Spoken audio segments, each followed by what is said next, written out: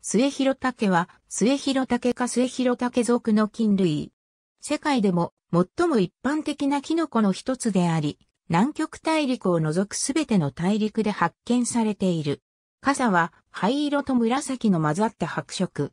扇の一種である末広の名の通り、傘が湿った状態では線形に開く。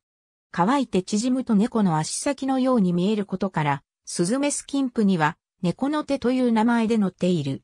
表面側には毛が生えていて、傘の裏にはひだがよく見える。ひだはその表面に端子胞子を作り出し乾燥すると分裂する。このため英語圏ではスプリット汁という名前で呼ばれる。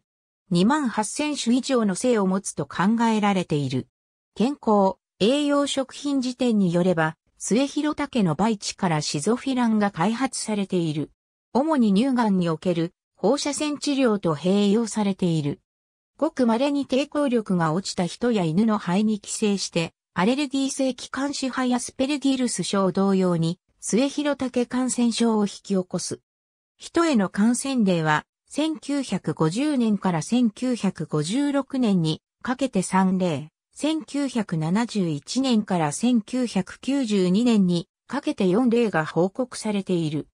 日本では1989年に千葉大学医学部附属病院で確認され、1994年に千葉大学神格微生物研究センターの亀井勝彦らによって報告された。日本国内では千葉大学心筋医学研究センターで研究が行われている。末広竹を病原心筋とする症例は2012年までに全世界で71例が報告されており、そのうち33例が日本からの報告である。ありがとうございます。